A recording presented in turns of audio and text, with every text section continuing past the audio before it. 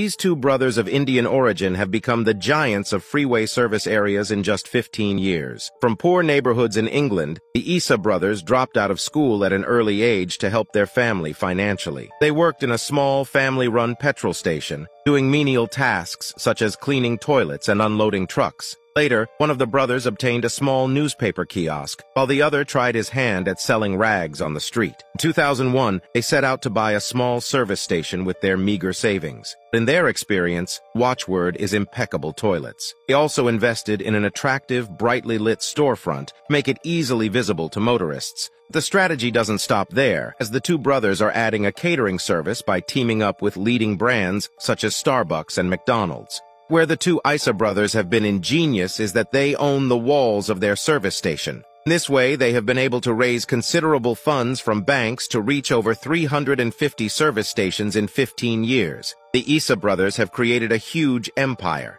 Will continue to use the same strategy, accumulating more than 800 service stations in the United States, for 1,000 in Germany, 1,200 in Italy. All this to reach sales of $26 billion. Tell a new business story every day, so subscribe so you don't miss the next one.